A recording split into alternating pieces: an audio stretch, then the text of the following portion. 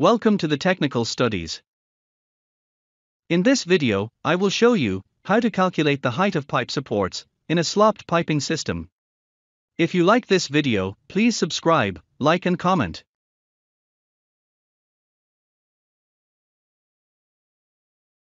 Let us have an overview of the drawing. The pipe goes up. Turns to the east. Goes up. And turns to the north.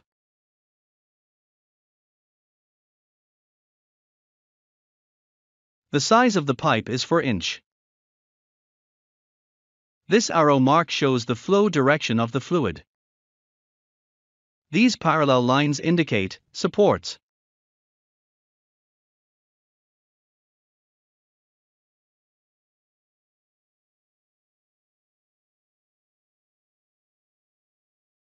This symbol shows the slope and the slope ratio.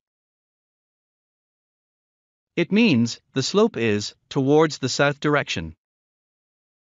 The slope ratio 1 is to 500 means for every 500 mm length of the pipe, one end of the pipe will be 1 mm lower than the other end.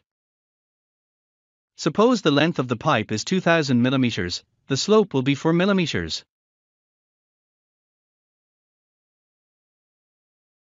The length of this spool is 9833. Calculate the slope. Divide 9833 by 500. The answer is 19.6 millimeters.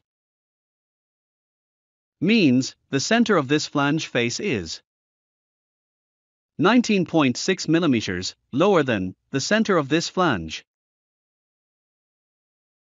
Let us calculate the height difference between these two supports. Since the distance between the supports is 6000 mm, divide 6000 mm by 500.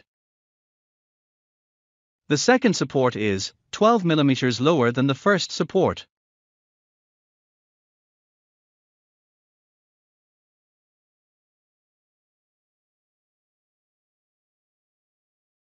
Note that, in this part of the piping, there is no slope. To download this drawing, please click the link given in the description. Thank you for watching.